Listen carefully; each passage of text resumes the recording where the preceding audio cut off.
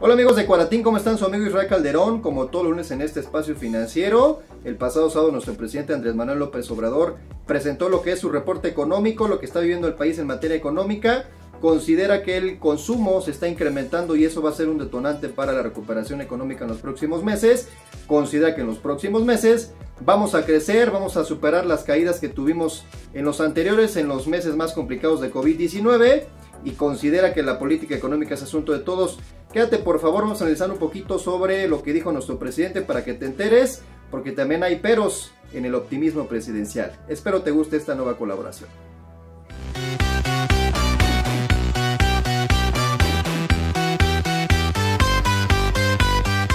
¿Qué fue lo que comentó el presidente? Eh, son varios puntos. Primero, antes que nada, reiteró que su política económica se basa en el ahorro, se basa en la austeridad, se basa en el cero endeudamiento, algo que ha sido muy criticado, y se basa en el combate a la corrupción, que esas son las bases de su política económica de la cuarta transformación.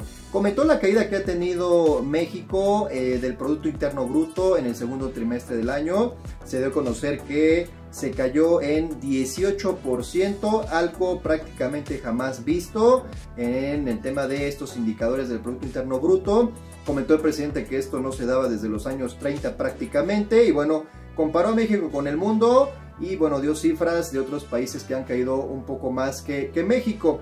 Comenta el presidente que él considera que la recuperación económica se va a dar en forma de V, es decir, cayó estrepitosamente y bueno, se va a recuperar también de forma rápida, contrario a lo que han dicho analistas eh, en ese sentido de que la recuperación pues en realidad va a ser lenta, va a ser bastante lenta. Y bueno, también comentaba la parte del peso, que el peso sí se ha estado depreciando en promedio en este año en el 9%, pero que se ha visto una recuperación gradual y que eso también ha ayudado a nuestro país.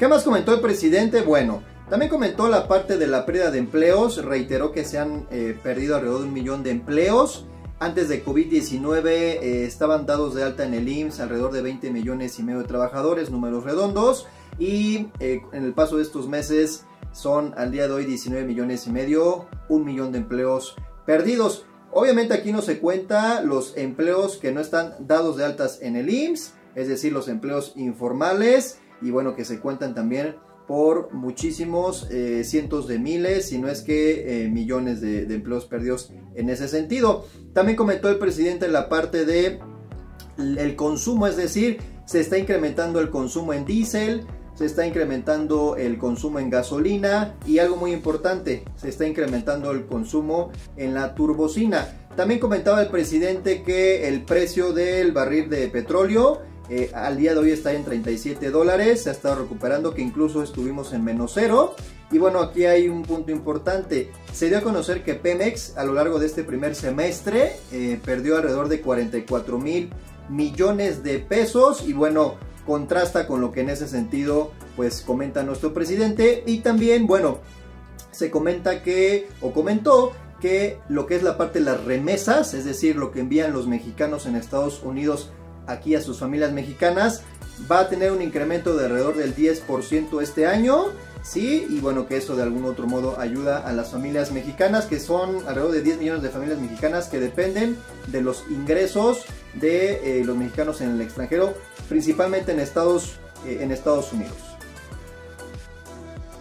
También comentó, bueno, eh, la parte de ISR, la recaudación sobre el impuesto sobre la renta, eh, comentaba, bueno, que se esperaba incluso que hubiera una caída en la captación de esos recursos y bueno, que al contrario, se incrementó en 0.7%, eh, prácticamente no cayó, al contrario, aumentó. Reconoció que cayó en la recaudación por IVA y bueno, también comentó que en la parte de créditos el gobierno federal ha incrementado la parte de los créditos otorgados, es decir, de los 4 millones de eh, créditos prometidos, se han eh, otorgado un millón y medio. En ese sentido, bueno, pues aquí habría un poquito de crítica, la verdad es que va pues bastante lenta lo que es eh, el reparto de estos, de estos dineros eh, y bueno, en ese sentido pues haría falta un poquito mayor de aceleración. También comentó el presidente que bueno, la parte del consumo, es decir, de las compras que hace el mexicano, en promedio ha aumentado 9% este año de lo que se dio el año pasado, que en ese sentido el consumo ha estado aumentando y que va a ser un pilar para la recuperación, la recuperación económica. Y bueno, también reiteró, bueno, que los apoyos sociales han hecho que la gente de escasos recursos pues no sufra realmente esta pandemia, que al contrario, ese dinero les ayuda a comprar, eh, adelantar pensiones a la gente adulta mayor, a la gente con discapacidad, a sus programas sociales, jóvenes construyendo el futuro, sembrando vida, etcétera, que los apoyos sociales del gobierno en ese sentido han ayudado también a que la gente de escasos recursos pues no sufra realmente en esta pandemia. Y bueno, reiteró el presidente que eh, no hay una crisis del consumo, en ese sentido con estas, con estas cifras, y que bueno, promete, se compromete a que va a haber una recuperación económica en los próximos meses, que ya viene de aquí en adelante una recuperación, contrario a lo que también han comentado analistas en el tema de COVID, es decir, todavía no hay una vacuna, todavía no hay una cura y en ese sentido COVID-19 también ha retrasado, retrasado la recuperación económica. Bueno, ¿cuáles serán aquí algunos peros? Y que fundamentalmente me voy a ir a cifras que salieron esta semana, sobre todo de la Coneval, el Consejo Nacional de Evaluación de las Políticas de Desarrollo Social aquí en México, comentaba que más de la mitad de los mexicanos, el 54% promedio, tiene algo que se llama pobreza laboral. ¿Qué significa? No le alcanza para comprar los insumos de la canasta básica. Eso es algo muy grave. Más de la mitad de los mexicanos sufre eh, la pobreza laboral. También la Coneval ha dicho, ha dicho que este año por COVID-19 van a aumentar en 10 millones promedio el número de pobres. 10 millones más de mexicanos se estima serán pobres serán pobres por COVID-19 y bueno, recordemos también la cifra que en su momento dio el Banco de México en el sentido que 34 millones de mexicanos o buscan empleo o necesitan otro empleo para poder subsistir. Entonces son cifras eh, que no, no alientan, son cifras que son un reto, un desafío y que contrastan de algún otro modo que, con lo que dice el presidente, de, con el optimismo del presidente. No dudo, no dudo que él tenga información en ese sentido privilegiada que le pueda eh, dar a conocer a los mexicanos que, que va a haber una recuperación. No lo dudo que va a haber una recuperación, considero que va a ser lenta. Pero estas cifras de la Coneval y del Banco de México son un lastre, una lápida que de algún u otro modo no van a, no van a ayudar a que sea una recuperación rápida. Y bueno, también recordemos que COVID-19 también va a alentar la recuperación. Todavía no hay cura, insisto. Eh, incluso hay estados de la República que pasan de semáforo naranja a rojo. Hay estados que no pasan del rojo.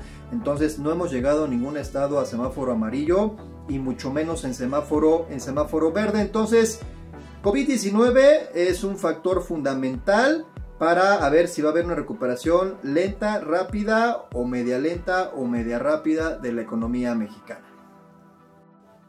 Y bueno amigos, eso es todo por hoy, les agradezco el favor de su atención. Recuerden que aquí estamos todos los lunes después de las 5 de la tarde, en Facebook, en YouTube, estamos el viernes en la, en la columna. Recuerden que información es poder, les reitero mi nombre Israel Calderón, asesor en finanzas personales. Excelente semana para todos amigos, cuídense mucho.